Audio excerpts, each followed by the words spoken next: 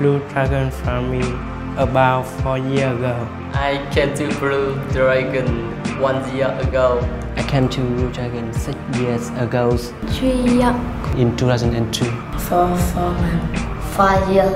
I have been here for five years. Before I met Michael from Blue Dragon, uh, I uh, living on street. I used to make money by suicide on street. My life was very difficult. Now I'm working for Blue Dragon Children Foundation. My work is uh, on street to uh, uh, work with street kids to bring them to Blue Dragon and we can help them. Before I came to Blue Dragons, I ran away from my home to Hanoi and I worked to suicide. Blue Dragon gave me a place to sleep, food, and helped me with go to school. Blue Dragon introduced me to my new job. Now I am working for Australia Charity for the Children of Vietnam. If I didn't meet Blue Dragons, I don't know what I'm be to do now.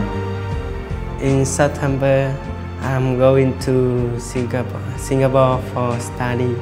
I look up Singapore on the internet. is very clean country. There are many tall buildings and the people are very friendly. I'm very lucky when Blue Dragon me to go there and I think studying in Singapore will be very good.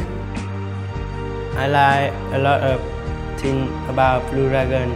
For example, Blue Dragon put a big house for students to live, to study, to learn, to go to school and to play.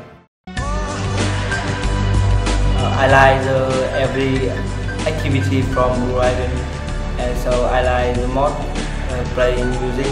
I like rapping. I like art. I like skipping. I like reading. I like football. We like Uno. I like dancing. I like computer. I like reading and study Kung Fu. Uh, thank you very much. Thanks for giving me opportunity to st- studying and uh, better life, and especially uh, um, I can come back and helping as a kid from Blue Dragon. Thank you. Thank you. Thank you. Thank you so much.